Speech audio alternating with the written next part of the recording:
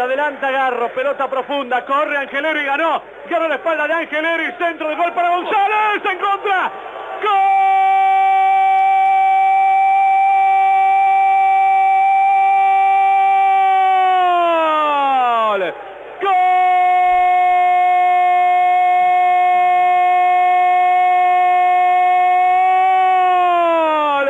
¡Gol Cruz de Mendoza! En contra lo hizo. Ganó Angeleri la espalda de Angelori. Un centro rasante perfecto. Entraba Ángel González para definir. Y Caruso pretendiendo destacar la pelota, sacarla, despejarla como sea. La terminó metiendo en contra. Y a los nueve minutos del partido, Godoy Cruz de Mendoza, que lo vino a jugar de igual a igual a la cancha de San Lorenzo, que no quiso estar ajeno a la fiesta, que quiere pelear la Superliga también. Godoy Cruz de Mendoza se pone arriba de San Lorenzo. Uno para el Tomba, cero para San Lorenzo en contra. En contra lo hizo Matías Caruso. Gran subida del lateral Angileri, el número 3, que lío y por ese lado, ¿no? Angeleri por derecha, Angeli- Angileri por izquierda, el centro envenenado, qué complicados son esos centros. Quiso sacarla Caruso, se la clavó en el ángulo superior izquierdo. Sorpresa en Boedo. Desde el año 2010 que Godoy Cruz no gana en la cancha de San Lorenzo, con esta victoria parcial llega a los 43 puntos y queda 7 de boca. Es la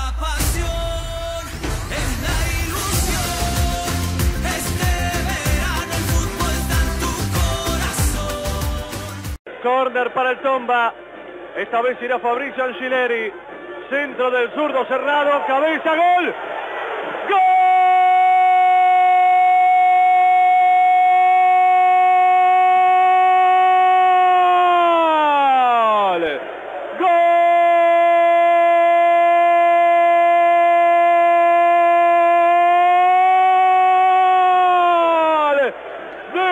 Cruz de Mendoza.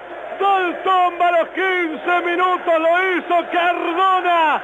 Un ex hombre de San Lorenzo que no lo grita, que lo festeja por dentro y que en 15 minutos del partido amplía la diferencia y hace estallar a la gente de San Lorenzo que no lo puede creer, que no puede entender lo que está pasando. Estaremos dormidos, no habrá sonado el despertador todavía.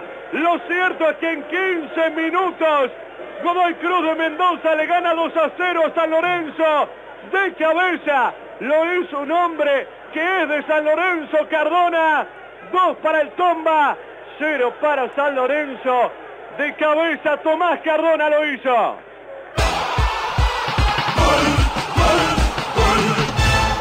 Recién se enojó Burián con sus defensores por la chilena de Blandi, Nico Navarro debería ser un asesinato masivo de defensores.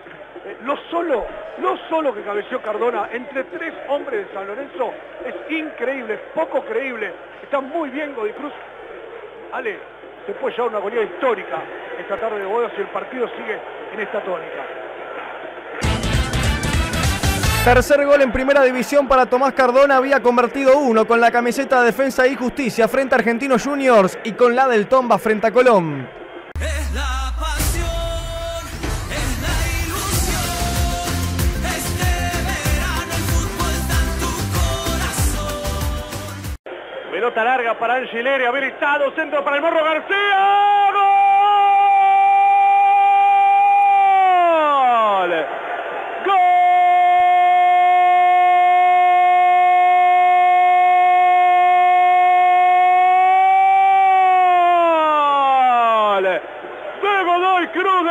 Mendoza.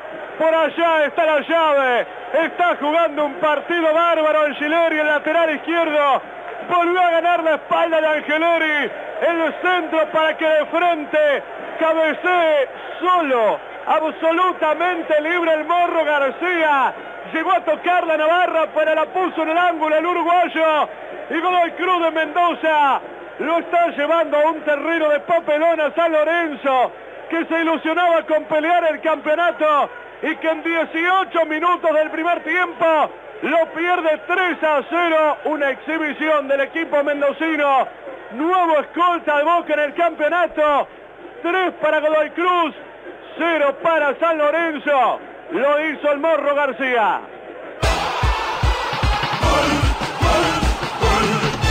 Juega bien Godoy Cruz y además aprovecha todos los regalos, todos que le está dando San Lorenzo en esta mañana. Complicadísimo el panorama para el equipo del Pampa. Gol número 10 para el Morro García en la Superliga. Con esta cifra alcanza lo máximo y lo supera a lo que había hecho en la temporada 2016 con el Tomba, donde había convertido 9.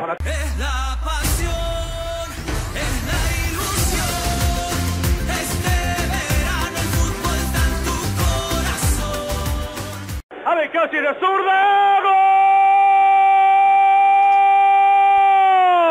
¡Gol!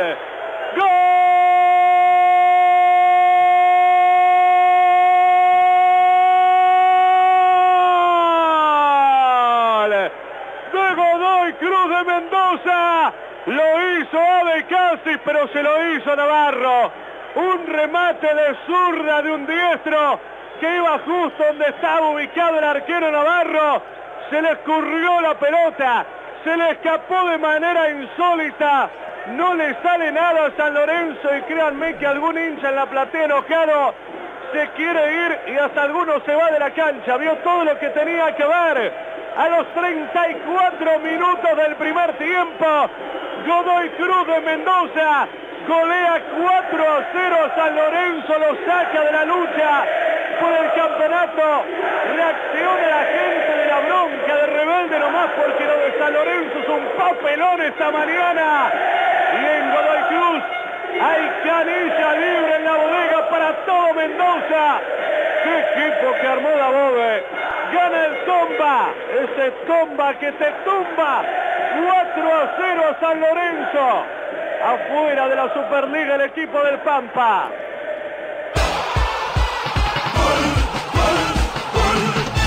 Bueno, si algo le faltaba a San Lorenzo era que falle Navarro, que tuvo dos intervenciones muy buenas, pero aquí, como se dice en la jerga futbolera, se comió el gol el arquero del Ciclón para redondear hasta acá una mañana pavorosa del equipo de Viallo. Segundo gol en la carrera de Luciano Becasis en primera división en 105 partidos disputados. El anterior, temporada 2013, camiseta de Quilmes, también frente a San Lorenzo. Es la pasión, es la ilusión. Este verano el fútbol está tu corazón. Se viene Garro, papelón de Salazar, Garro para García. ¡Gol!